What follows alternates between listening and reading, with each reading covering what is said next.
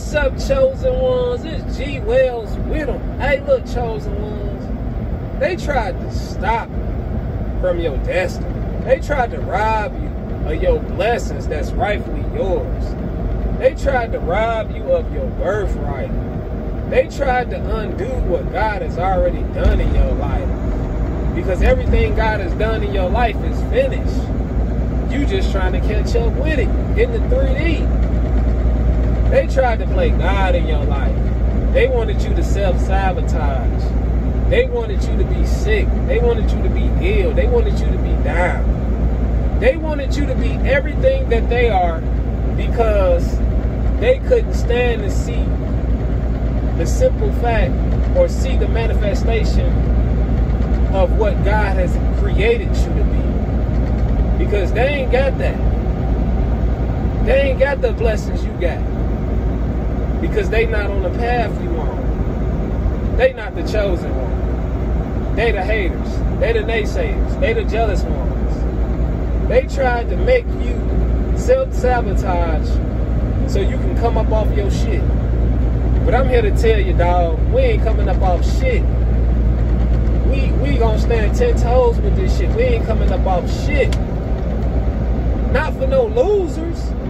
Not for some motherfuckers that can't even stop binge eating. Not for some motherfuckers that can't stop being lustful. Not for some motherfuckers that can't stop stealing. Like, these are petty crimes in the spiritual realm. Like, these motherfuckers are petty criminals in the spiritual realm. Like, these motherfuckers can't stop motherfucking, like, gossiping. Like, that's petty level shit. That's low level shit in the spiritual realm.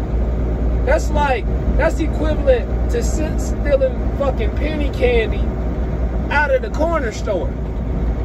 Like, these low level criminals in the spiritual realm ain't ready for this shit. They ain't ready for the walk. They ain't ready for this shit that's about to happen. They ain't ready for this shit that's about to take place.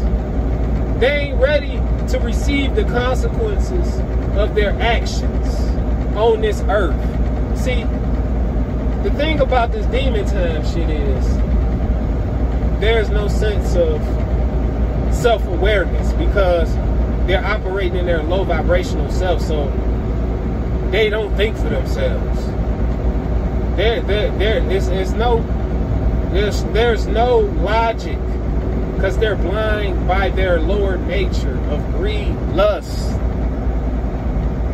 fornication. Like, come on, man. But they try to project that energy onto you so you can forfeit your shit. Because they do all this low level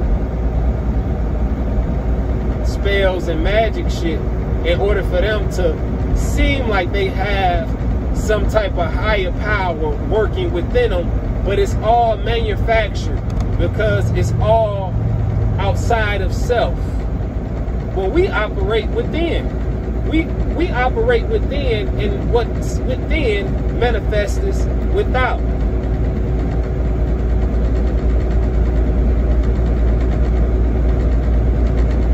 But we ain't coming off shit.